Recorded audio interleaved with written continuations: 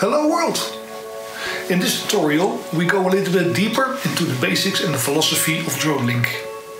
We all fly for a while now with DroneLink and the version number out now is 1.5.0 with 1.6.0 on its way.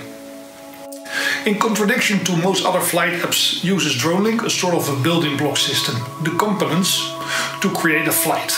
This means in normal language that your drone flies to a location does the component and stops there.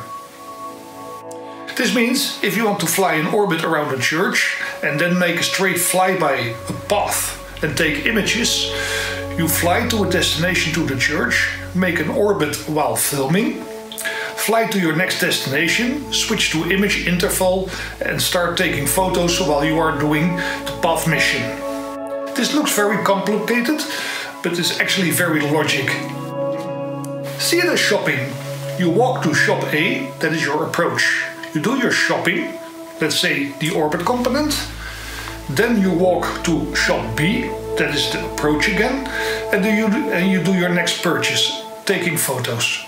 So we will do an example of this exact flight and I will go guide you step by step and then we go to the next phase. In this example I have a flight plan based on some lists and two mission components. 1. Destination 2. Video components. It just tells the drone what settings to use, but not to use them yet. 3. A part of the orbit is the approach to the start point. When the drone achieves that, it will start the camera as a condition. We have discussed this before. The drone does the orbit and when done, the camera stops recording, again as a condition. The camera switches over to photo mode.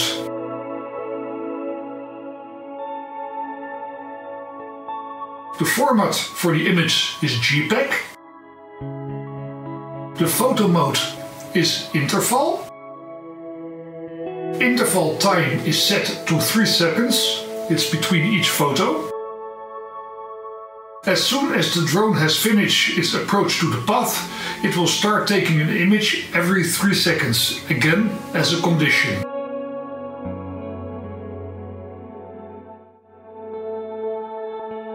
And finally, of course, we add the stop commando for the camera.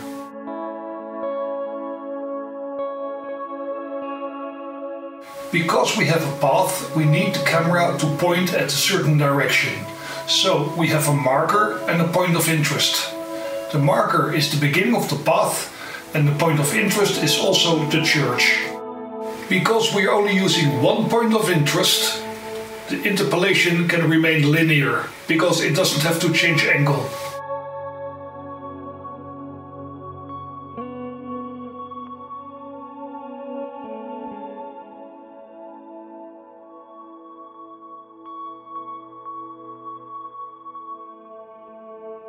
Although the list was already done, the end of the destination says as a condition start video. So that's what he does.